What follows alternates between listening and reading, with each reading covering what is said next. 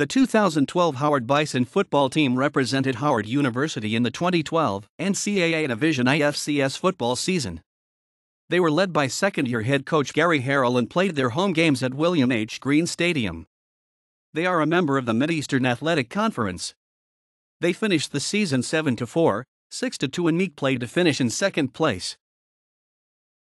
Source Schedule equals equals references equals equals